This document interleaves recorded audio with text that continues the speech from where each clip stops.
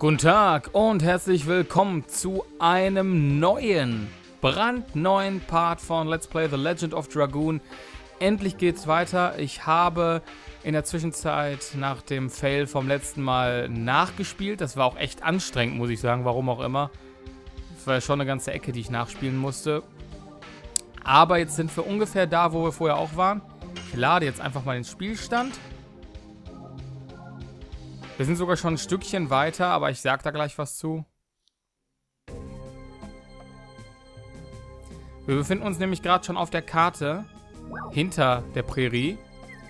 Ähm, wir betreten jetzt aber natürlich nochmal die Prärie und ähm, es ist so gewesen, das Einzige, was ich noch geändert habe, beziehungsweise was ich noch gemacht habe, im Gegensatz zum letzten Mal, wo wir ja den Baum gefällt haben, der dann runtergefallen ist und wonach dann leider das Spiel sich aufgehangen hat, ähm, ich bin dann noch dahin gegangen, wo der Baum eigentlich runtergefallen ist. Dann ist da ja die Strömung, dann, dann, kam halt eine Szene, wo der Baum dann runterkam, die Strömung, und dann sich da festgehangen hat. Da konnten wir rübergehen und sind hier quasi gelandet.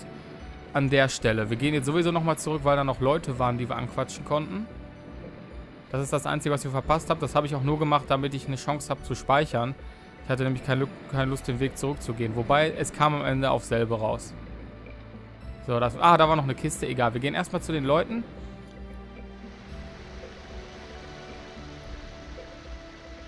Die Leute sind weg. Hier war ich ja schon. Scheiße. Egal, das war, das war hier jedenfalls die Szene. Da kam dann der Baumstamm runter und ähm, dann sind wir da gelandet. Aber komisch, beim letzten Mal standen da noch Leute, die man hätte ansprechen können. Scheiße, vielleicht... Oh, das war natürlich klar. Zufallskämpfe, oh yeah. Ähm, das war natürlich klar, dass die jetzt plötzlich weg sind, nachdem ich die Karte schon einmal betreten habe. Ich hoffe mal, dass das nicht allzu wichtig war. Ähm, ich hoffe mal, dass wir jetzt einfach keine technischen Probleme mehr haben werden in Zukunft und gut durchkommen.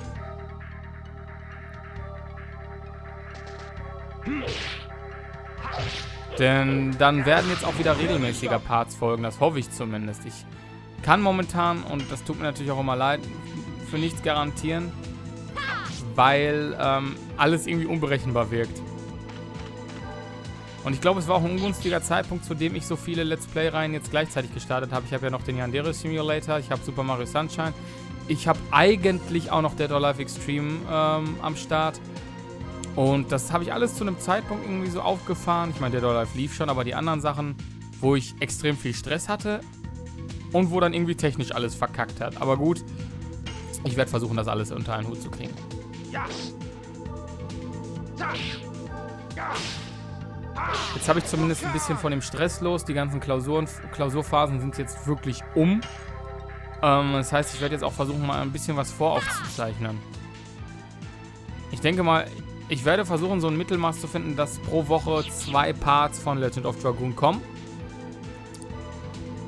Ähm, ich versuche das sowieso dann so zu handeln. Zwei Parts Legend of Dragoon, zwei Parts Super Mario Sunshine, ein oder zwei Parts von Yandere Simulator. Und was ich mit Dead or Alive mache, das muss ich erstmal zeigen. Vielleicht kriege ich ja tatsächlich dann irgendwann mal sowas wie eine Struktur rein. So, es soll uns jetzt aber egal sein. Das war jetzt nur zur Info für euch. Kügelchen. Jetzt widmen wir uns voll und ganz The Legend of Dragoon.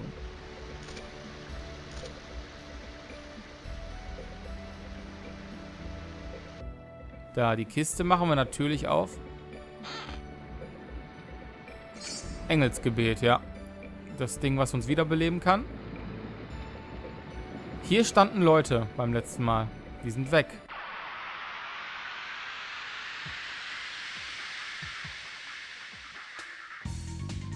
Ärgert mich jetzt ein bisschen. Aber so ist das. Das Spiel war gnädig. Wir haben nur einen kleinen Gegner. Aber der hat natürlich wieder den höheren Initiativewert, obwohl irgendwie glaube ich, hier gibt es sowas gar nicht wie eine Initiative wert, weil es irgendwie immer random ist, wer anfängt.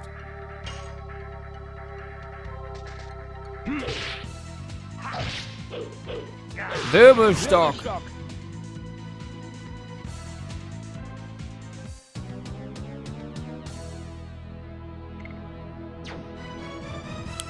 So, dann gehen wir jetzt zurück auf die Karte. Es folgt nämlich... Und das werdet ihr gleich selber sehen. Noch, noch, noch, noch, noch, noch, noch. Noch.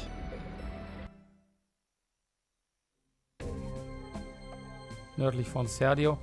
Äh, ein weiteres Dungeon, denn das da hinten sieht natürlich nicht aus wie eine Stadt.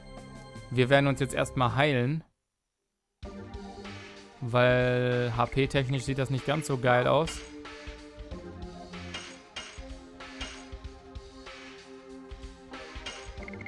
So, Levels ist erstmal noch okay. Noch im grünen Bereich, in, in Anführungszeichen. Es gibt hier ja kein Grün, sondern nur Braun und Rot. So, Kalksteinhöhle. Rein da.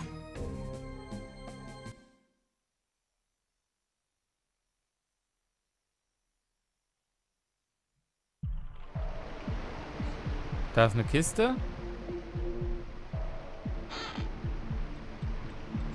Detonationsfelsbrocken erhalten. Gucken wir uns mal kurz an.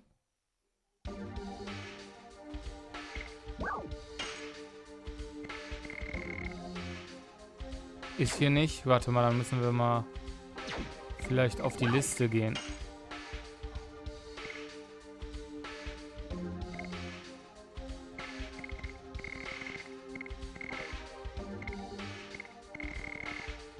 Da. Detoniert und greift alle Feinde an. Gar nicht mal so spektakulär.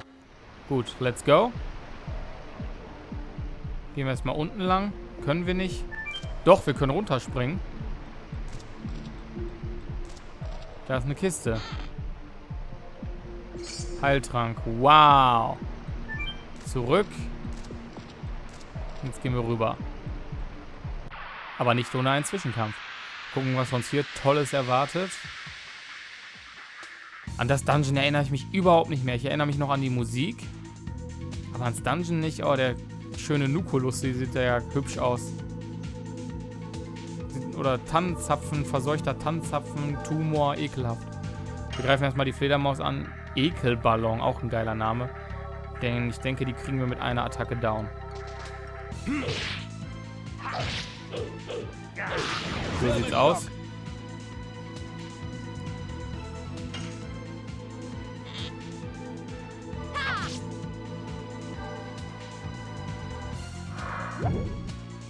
Harmlos.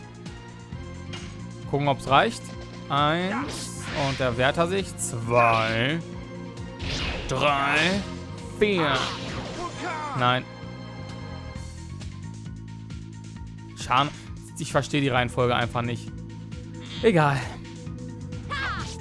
Ich dachte jetzt eigentlich Levels hätte wieder dran sein müssen, aber nö. Soll uns egal sein, wir haben den Kampf erfolgreich bestritten. Sollte uns vor keine Probleme führen, diese Höhle. Ich hoffe, ihr hört das Rumgequietsche von den Vögeln hier draußen nicht zu sehr, aber ich muss, kann das Fenster gerade nicht zumachen. Ich ersticke sonst. Jetzt halt doch mal die Schnauze da draußen. Unfassbar laut. Und tierisch nervig dazu. Wir können unten und oben lang. Wir gehen erstmal hier lang. Obwohl, da unten ist eine Kiste. Schauen wir mal.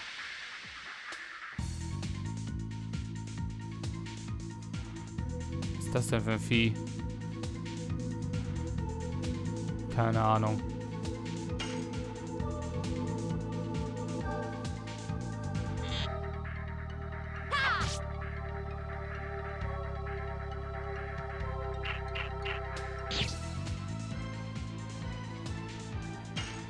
Ork.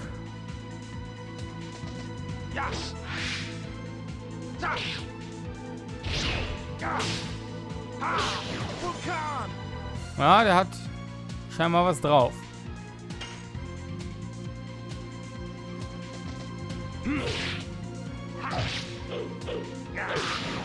Das reicht nicht. Schade.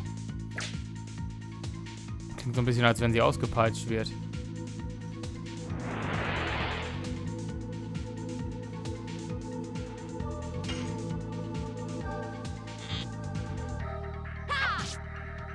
Da ist er weg.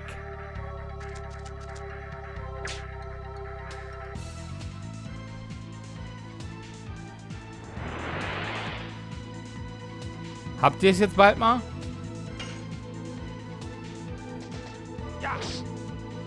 Was war denn das? Ich habe nichts gesehen. Wurde Überschall auch auf Dart eingesetzt? Ich schätze mal, das ist ein Effekt oder so. Meine, das haben die doch beide Male auf Shana eingesetzt. Oder wirkt das dann auf alle? Das kann eigentlich nicht sein.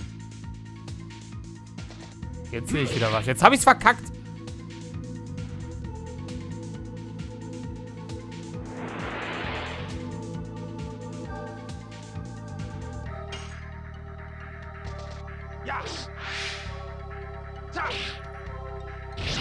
Der Vogel geht mir so tierisch auf die Nerven. Hört ihr das?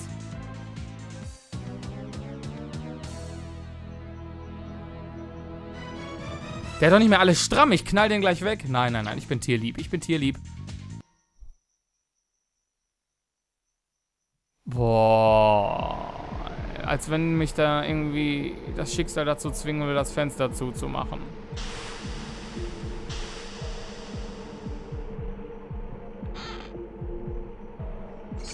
20 Gold. Uh.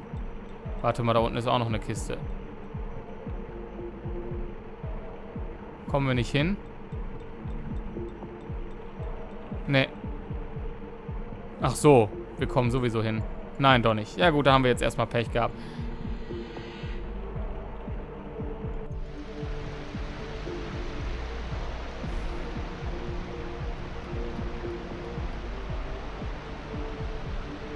Stolpersteine. Shana, sei vorsichtig, dass du nicht ausrutscht. Okay.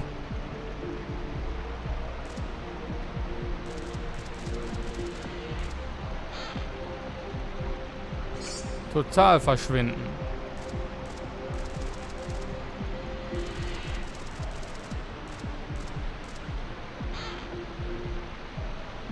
Körperreinigung.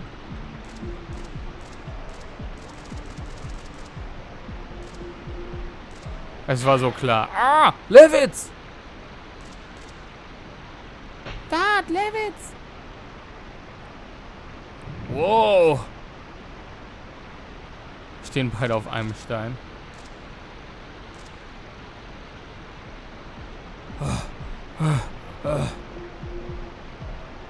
Du rettest mir schon zum zweiten Mal das Leben.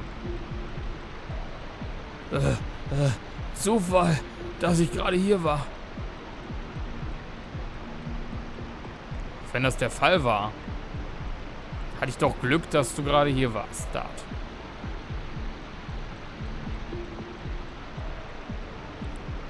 Wir werden für immer Freunde bleiben. Oh Gott, das passt jetzt in... Egal. Jip, das stimmt.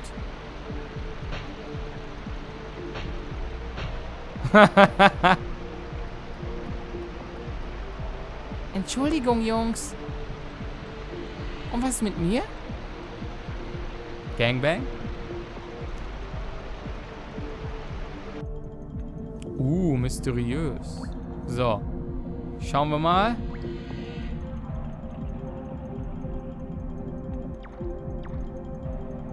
Was ist das denn für ein Vieh? Da komme ich nicht hin.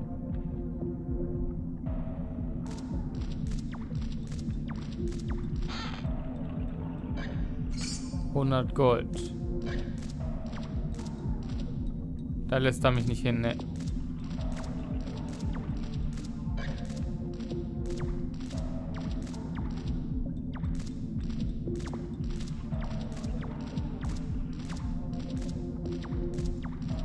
Ich weiß nicht, ob das was zu bedeuten hat, dass das Vieh hier ist. Ich gehe jetzt mal von einem Nein aus.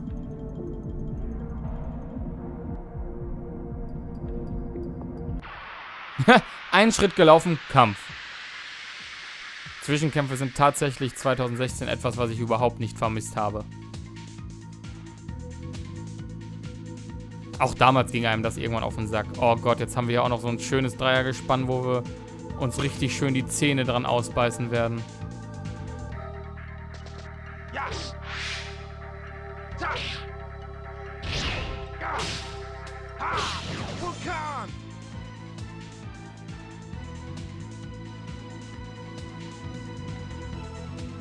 So, besser.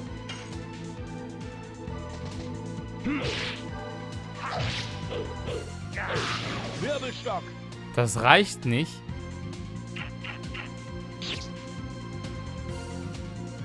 Jetzt, wo der Typ dran war, ist Shana dran, weißt du? Ich hatte gehofft, dass wir vielleicht eine Attacke von dem wenigstens umgehen können, indem wir ihn als erstes umhauen. Nö. Arschloch. Ihm zieht er 17 ab.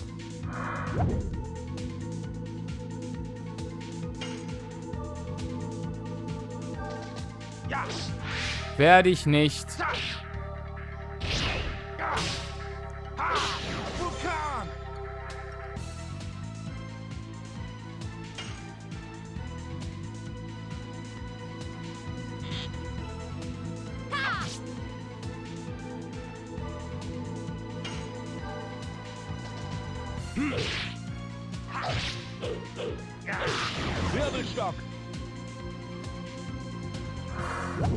Der Ekelballon, wabbel, schwabbel. Schwabbel, wabbel.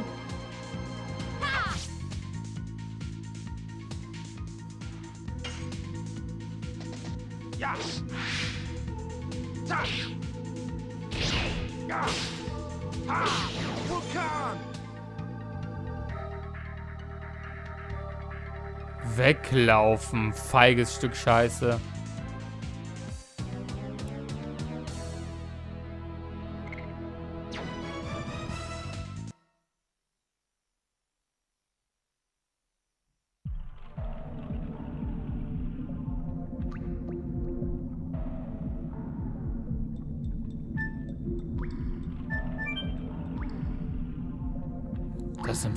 Sind Felsglühwürmchen. Oh, du weißt wirklich viel. Nun, sie haben mich oft gerettet. Mich auch. Besonders in der Nähe von Schlachtfeldern waren sie immer sehr nützlich.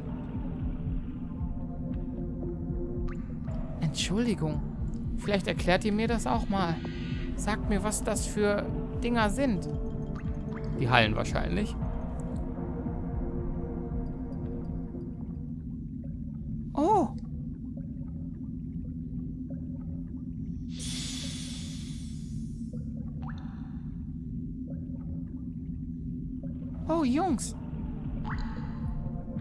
Licht eines Felsglühwürmchens hat heilende Kräfte. Jetzt hat Shana wenigstens etwas gelernt. Ja, ja. Ich weiß auch was, was du nicht weißt, Dart. Äh, was ist das? Das sage ich nicht. Nun, ihr wart fünf Jahre lang getrennt. Es ist doch normal, dass man da nichts voneinander weiß. Meine Mutter und ich, wir sind da anders. Jedes Mal, wenn ich nach Bale zurückkomme, begrüßt sie mich mit dem gleichen Lächeln.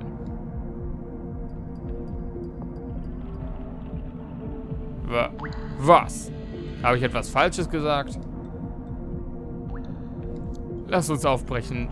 Deine Mutter wartet in Bale auf dich. Nicht wahr? Ja.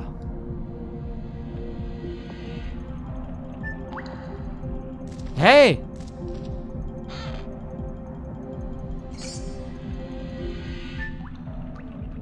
Aha. Die Zwischenkämpfe sind echt anstrengend geworden. Das habe ich mir da bloß aufgehalst. Jo, eine Spinne. Natürlich darf sie anfangen.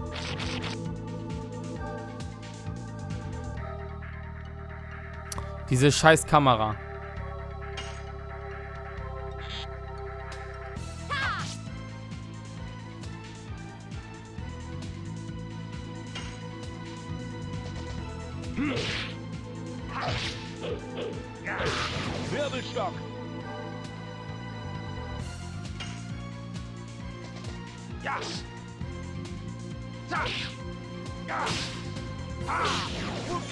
Da ist sie weg.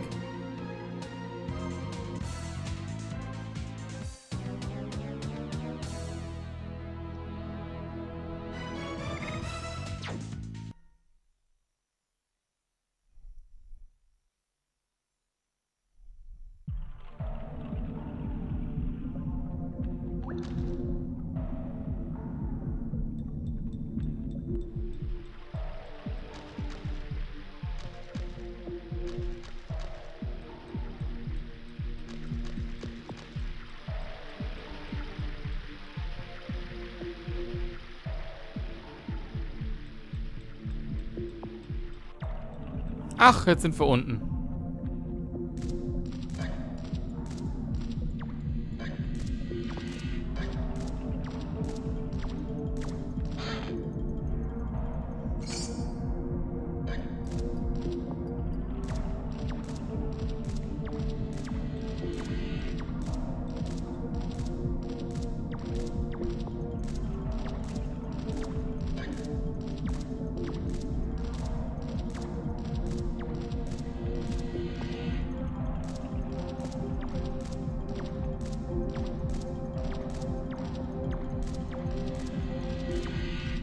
Dich.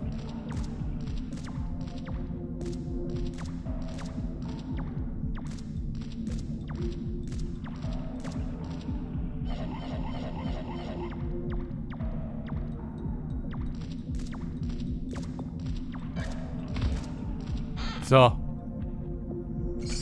Giftschutz. Kann man das ausrüsten?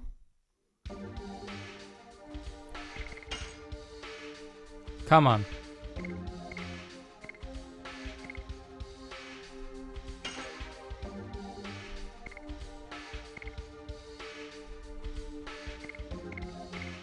Gut. Nice. Gab's hier jetzt noch mehr? Wahrscheinlich nicht, ne? Müssen wir wieder raus hier.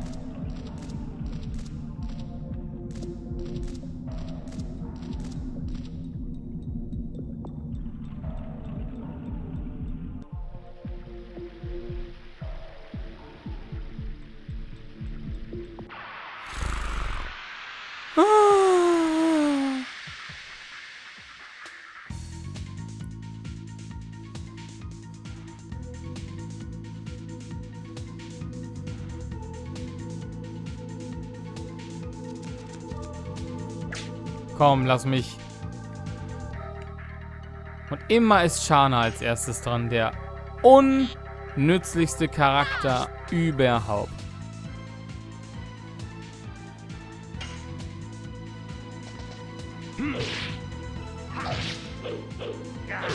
Wirbelstock.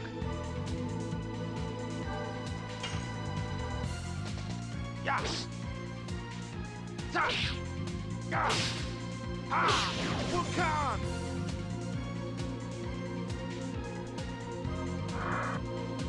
Gefährliches Gas. Ist sie vergiftet? Scheint so, ja.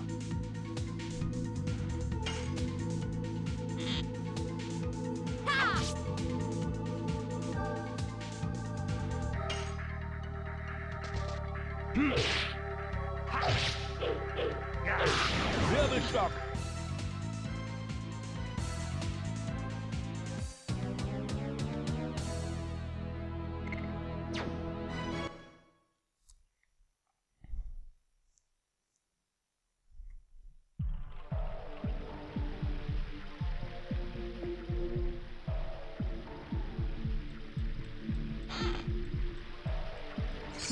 Zaubertrank.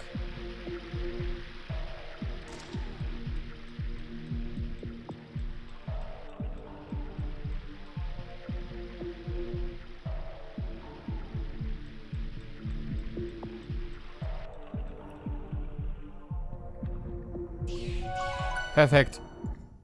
Hier beenden wir nämlich jetzt unseren Part. Ich speichere sofort. Damit hier nicht irgendwie noch was vorher abstürzen kann. You never know.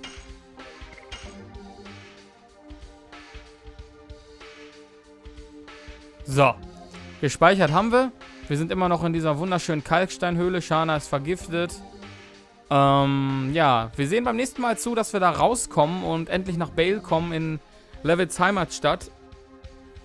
Und dann schauen wir mal, wie es weitergeht, ne? Ich hoffe, dass es sehr bald sein wird und es nicht wieder irgendwie erst zwei, drei Wochen dauert.